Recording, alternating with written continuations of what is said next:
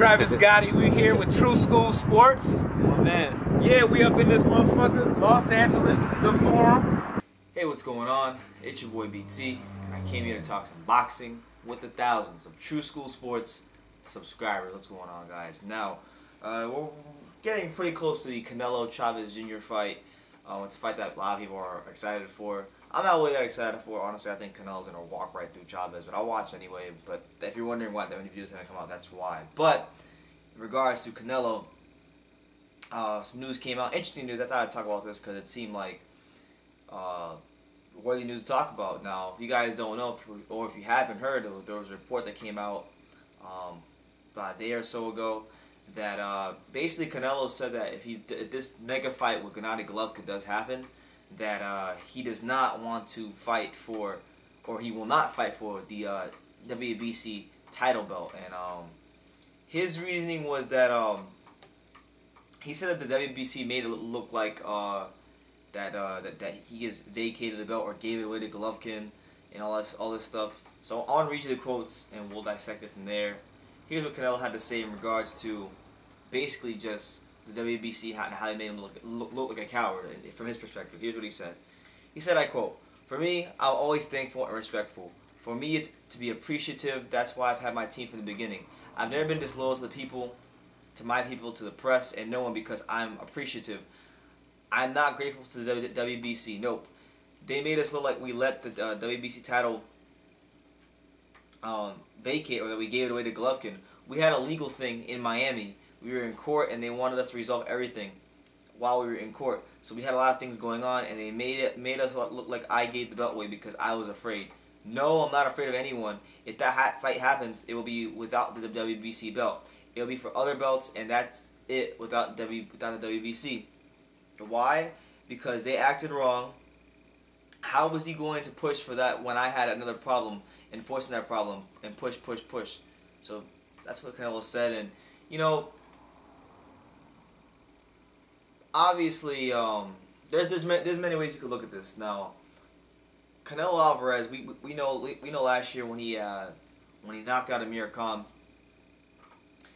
it was pretty clear he had a certain amount of time to negotiate a fight with Gennady Golovkin, and if not, he would be forced to vacate the belt. And that was the that was in that there it was after that fight that he had his infamous interview where he said, you know, in Mexico we don't f around, and people took that very seriously, and you know, this is a fight that many many people thought after he said that would have happened last year, but obviously it didn't.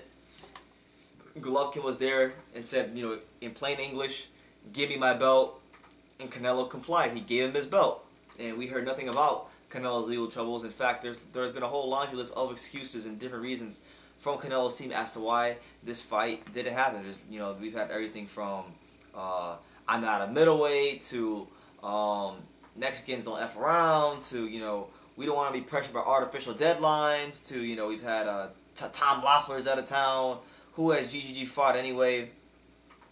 Um, then we've had the whole 160, 164.5 catch weight.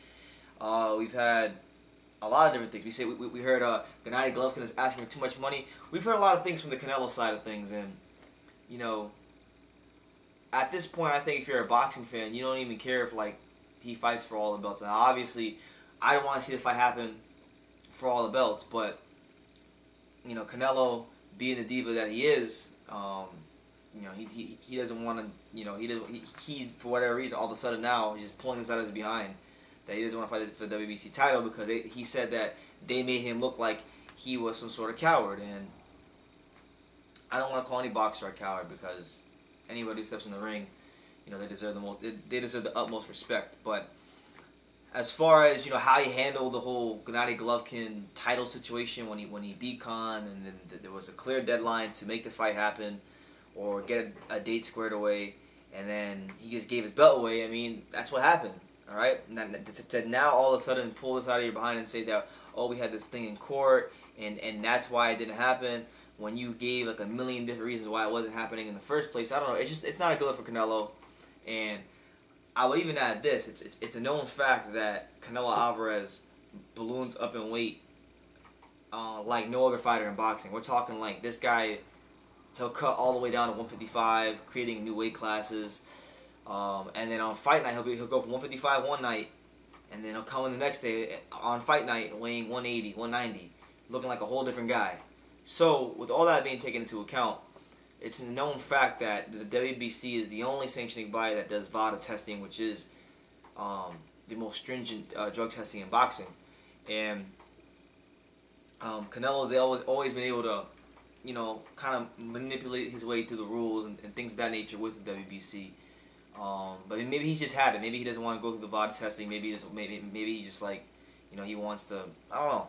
I'm not I'm not accusing the man of nothing, but I'm saying we, we know that they, they do enforce their VADA testing uh, for the most part. So that's what it is. Canelo saying that if he does fight Gennady Golovkin, he will not be fighting for the WBC title because they uh, they made him look bad and they made him, they made him like he gave the belt away. Well, that's really what happened. So I don't know what he's mad about. I don't know why he's being a little diva about this, but it is what it is. Hopefully in September, you know, if he does what many expect him to do, which is get past Chavez Jr. Because look, people. I mean, I want. I personally want to see Chavez Jr. win.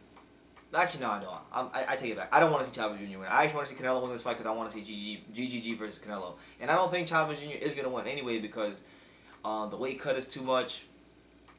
He's way that he's he's he, he's way too like you know straight up and he gets hit way too often.